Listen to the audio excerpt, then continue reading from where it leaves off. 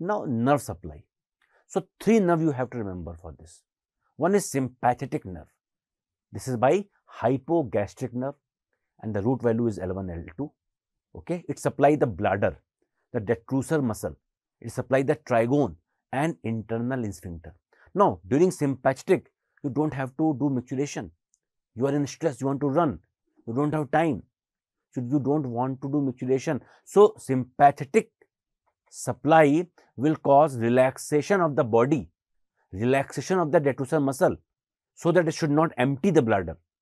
On the other hand, the trigone and internal sphincter will remain contracted.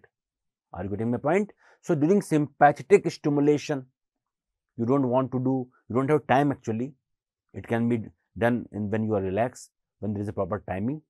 Okay. So, during sympathetic stimulation, your bladder is relaxed and on the other hand, internal sphincter and the trigone, they are contracted. Is this clear?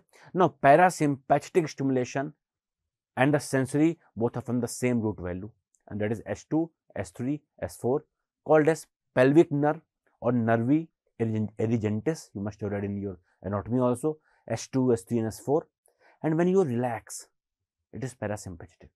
Now, you want to do the process of micturition. So, emptying of bladder will be there. So, how it can happen? It can take place by the contraction.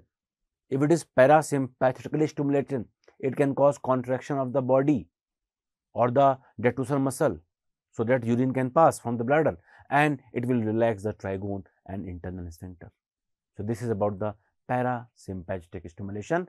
Then the third is somatic. Okay that is pudendal nerve. Again, the root value is S2, S3 and S4. It supplies the prostatic part of the external sphincter and it is under the control of higher center. Okay, It can be reflexively and voluntarily relaxed during the process of micturition. This is by pudendal nerve. And sensory, I have told you, it is the same nerve as parasympathetic, same root value as parasympathetic. That is S2, S3 and S4 and the name is pelvic nerve. And this will sense this is a sensi, this is a afferent. So, this will sense the degree of distension of the bladder. It will sense the stretch of the urinary bladder when there is urine. When urine is collected in the bladder, that will be sensed by this sensory nerve called as pelvic nerve. And also, it can sense pain, but by sympathetic nerve. Okay. So, sensory can be for distension also and can be for pain sense.